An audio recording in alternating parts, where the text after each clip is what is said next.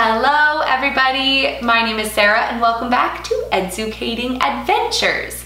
Today, I need a little bit of help because I'm thinking of an animal but I just can't remember what it is. The animal that I'm thinking of is as big as a hippopotamus, except this animal spends a lot of time resting on sea ice and it has giant teeth hanging out of its mouth. And I mean giant, three foot long teeth hanging out of its mouth. Hmm, well, I'm wondering if anybody was maybe thinking that my critter could be a walrus. And I'm hoping that you were, because that's exactly what we're talking about today. Let's start exploring some incredible walrus facts.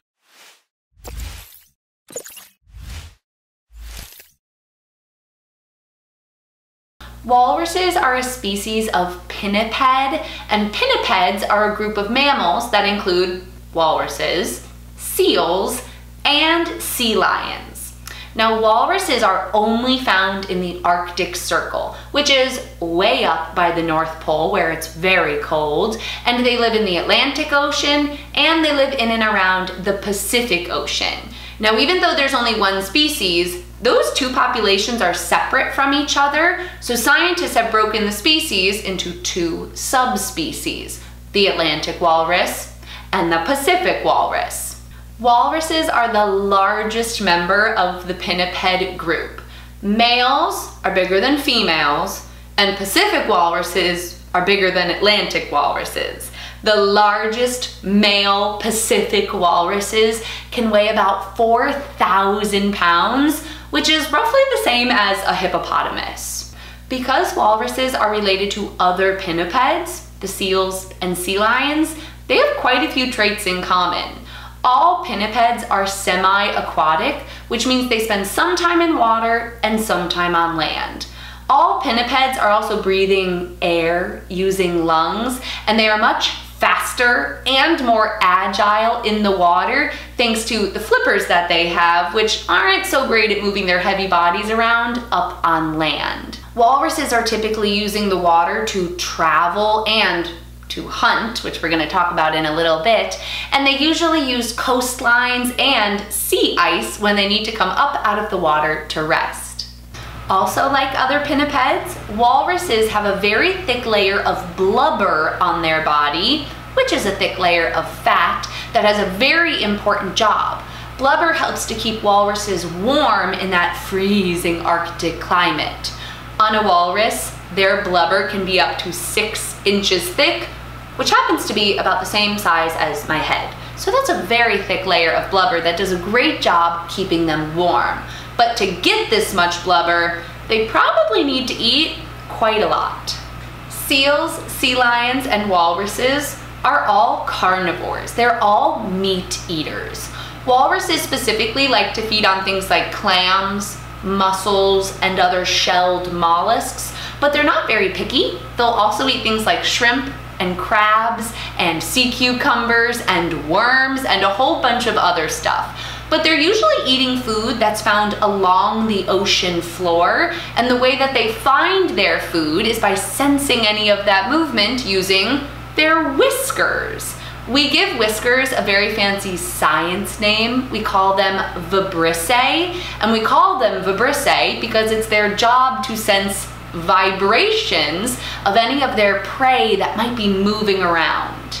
Many of these prey items that walruses like to eat burrow into the ocean floor. So to expose them, walruses take their big flippers and they kind of whoosh the sand and mud out of the way. They stir it all up to expose their prey.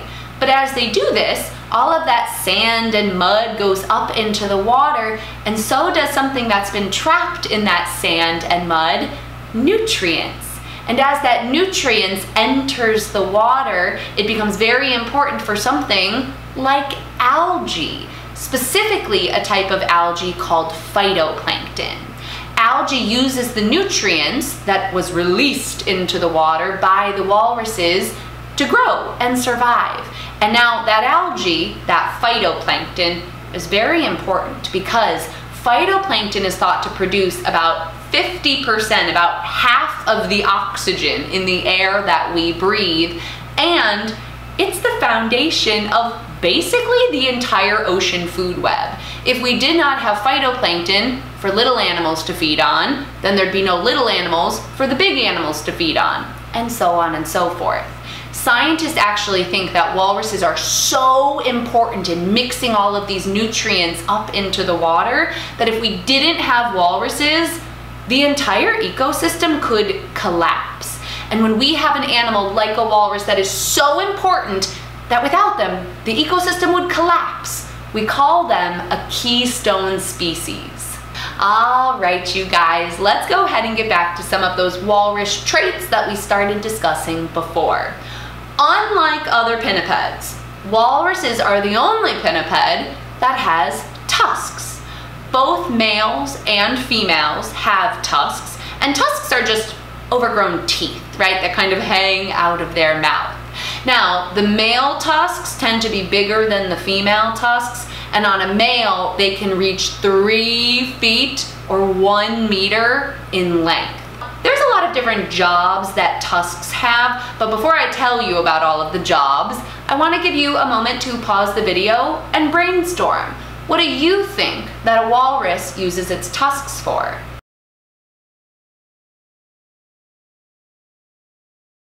Alright, let's talk about it. I'm wondering if any of the ideas that you have line up with the five ideas that I have.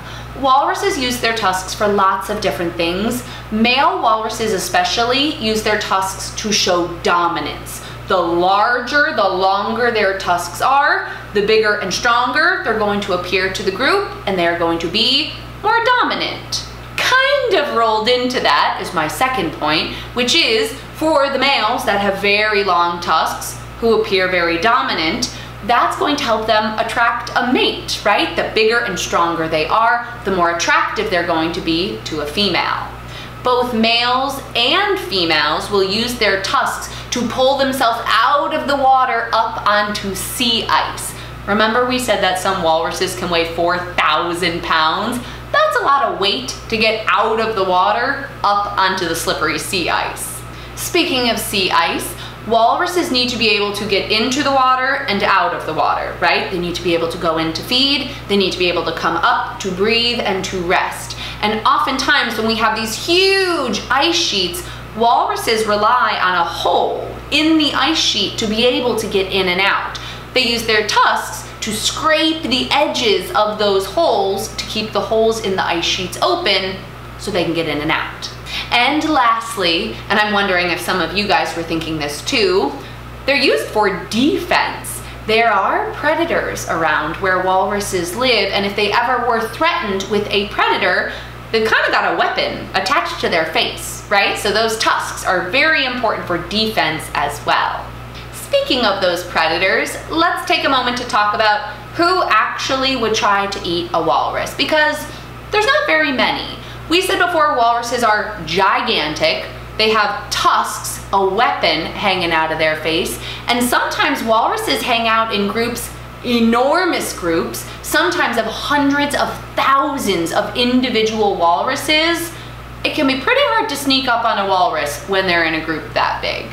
Pretty much the only animals that would try to eat a walrus are a polar bear and an orca, but they're typically going for the old and weak or the young or the sick, something other than a 4,000 pound healthy adult male.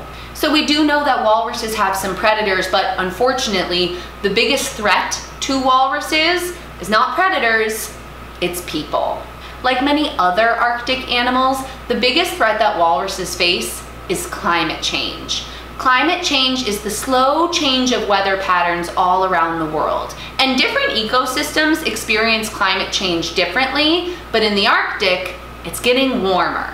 And that sea ice, the pattern of it forming and melting, is especially important for walruses. Without that sea ice forming in the winter, they don't have the ability to go hunting out there or rest out there on the sea ice. They're losing a lot of space that they really need.